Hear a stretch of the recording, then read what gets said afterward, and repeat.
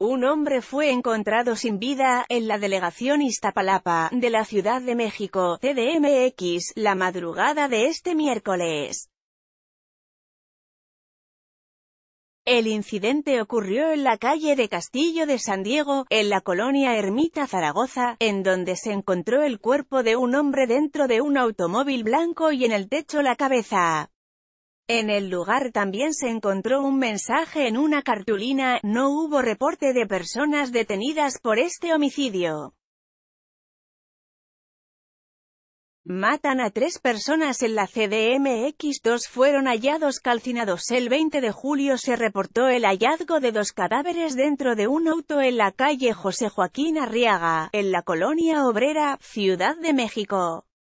Los vecinos hicieron el hallazgo y al ver los cuerpos de dos personas en el vehículo con impactos de bala, llamaron a las autoridades para reportar el hecho y para que se llevaran el auto.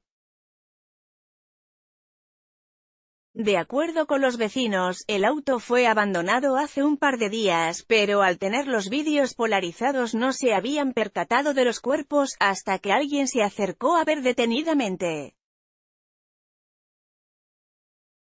El 17 de julio fueron encontrados dos cuerpos dentro de una camioneta en la avenida Lago de Guadalupe, a la altura de la calle Texcatlipoca, en el Estado de México.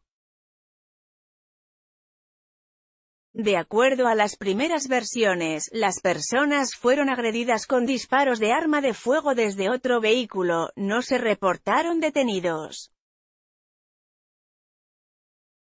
Localizan dos cuerpos en Avenida Lago de Guadalupe, Edomex. El 10 de julio encontraron seis cadáveres dentro de un auto en la calle Bosques de Libia, en la colonia Bosques de Aragón, municipio de Nezahualcóyotl, en el Estado de México.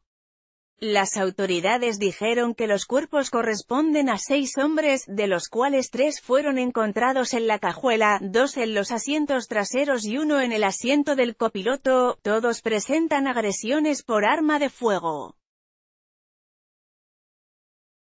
Agregaron que el vehículo probablemente pudo haber sido trasladado desde la Ciudad de México y dejado en la colonia Bosques de Aragón. El 18 de junio se reportó el hallazgo de restos humanos y una narcomanta en el carril confinado del Metrobús en Avenida Insurgentes, en la Ciudad de México.